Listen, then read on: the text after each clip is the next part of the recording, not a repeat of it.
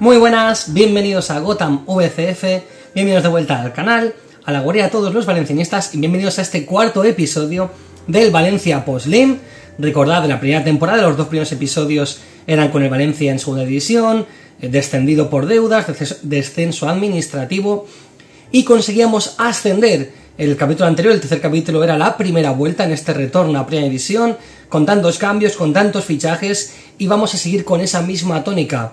Estamos ahora en el mercado de invierno, vamos a hacer la segunda vuelta de esta segunda temporada y vamos a tener que buscar jugadores que acaben contrato, jugadores que puedan reforzar el equipo a un coste muy bajo para poder seguir creciendo, ¿no? Llevando el Valencia al lugar al que se merece. Vemos que la primera vuelta hemos acabado el 12, eh, luchando pues por la salvación, por estar lejos de los puestos de peligro. Y también vamos a ver el desarrollo en Copa. Y estamos ahí con el primer fichaje que vamos a hacer Hemos arrasado con el PSG, ya veréis. Sergio Rico, que acababa contrato, aceptaba la oferta para unirse a nuestro club. Espero que Sergio Rico hoy en día se pueda recuperar. Ahora mismo, cuando esté haciendo este vídeo, está en el hospital, tuvo un coma, un accidente, y le deseo la mejor de las suertes. Sé que no lo verá, pero bueno.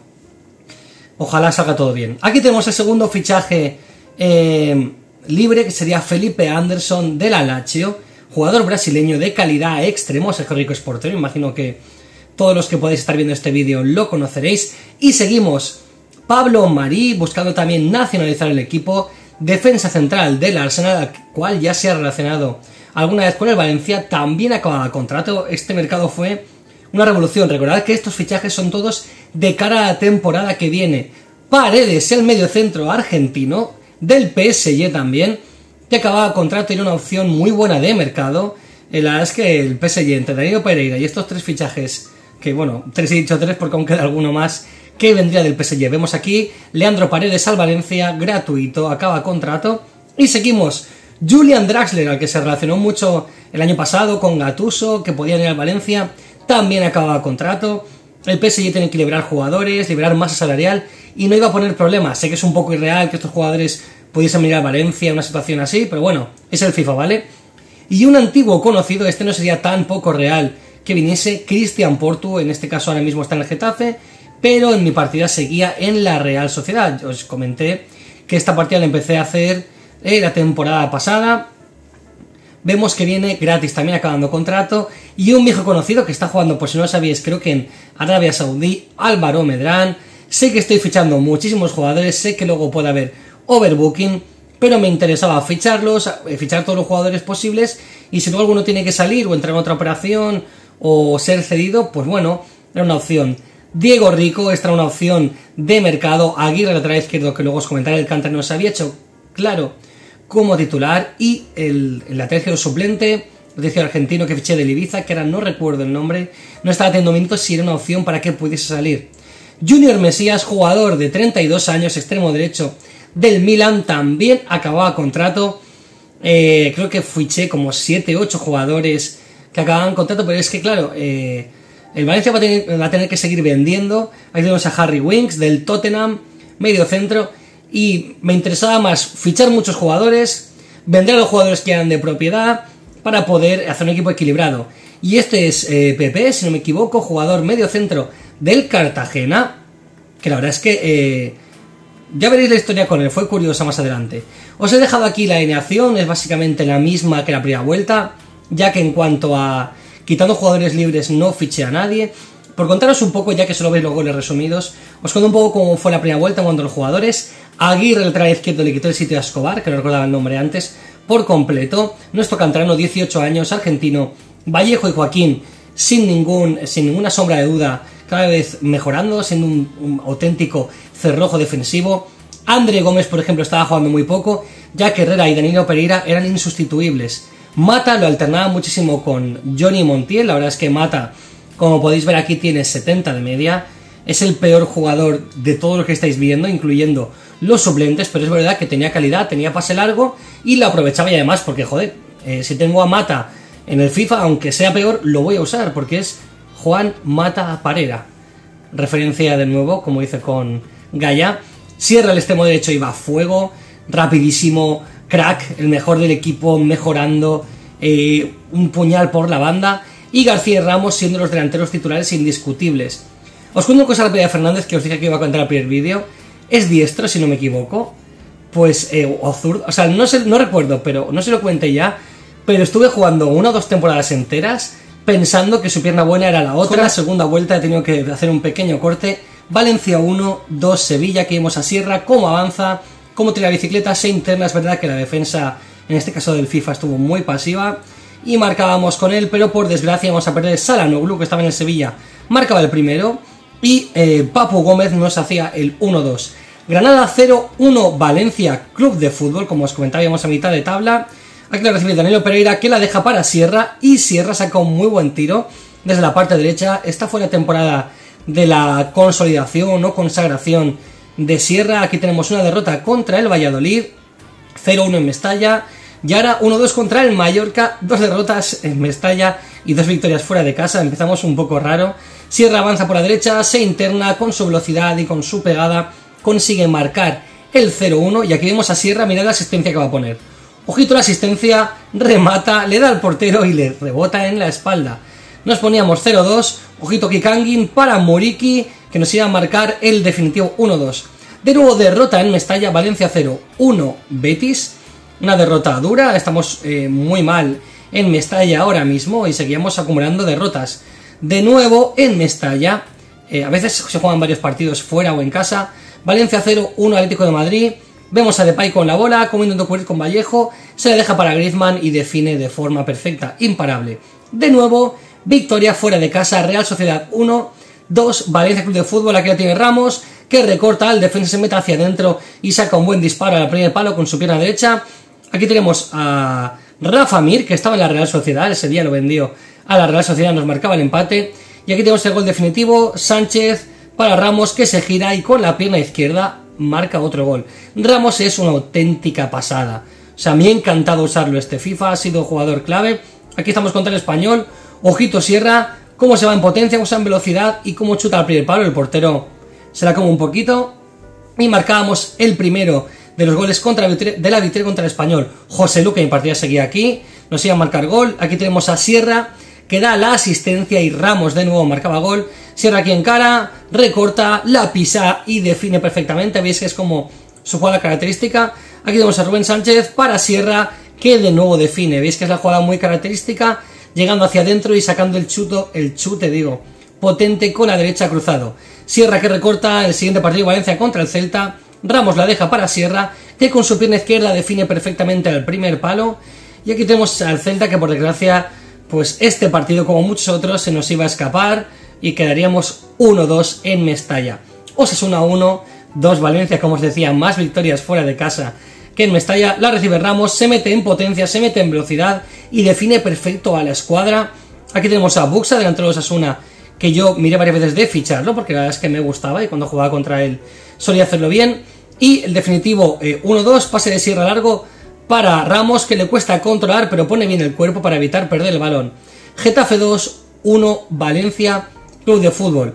Aquí tenemos a Aguirre, ojito cómo la va a poner para que Ramos de nuevo, nuestro killer, nuestra garantía del gol, eh, marque de cabeza. Pero por desgracia vamos a perder. Aquí vamos a Aleña, al jugador ex del Barça que marcaba el primer gol. Y después Brenner, un fichaje que nos iba a hacer el 2 a 1 definitivo. Valencia 2, 1 Eibar. Volvemos a la senda de la victoria en Mestalla. Empezaríamos perdiendo. Aquí tenemos a Stoikov, eh, que daba la asistencia para el primer gol de Eibar. Pero íbamos a remontar Aquí está Ángel Herrera, la deja para Fernández, que veis que está teniendo poco protagonismo con, con Ramos, con García, que es el que va a marcar el gol definitivo, este buen chut potente con la pierna izquierda al palo cruzado. Barça 1, 0, Valencia Club de Fútbol. Aquí vemos a Lewandowski, que la deja para Ferran Torres. Ferran que recorta y nos vuelve a marcar Ferran, ¿eh? el cabrón. No para de marcarnos goles. Valencia 1, 0, Athletic de Bilbao.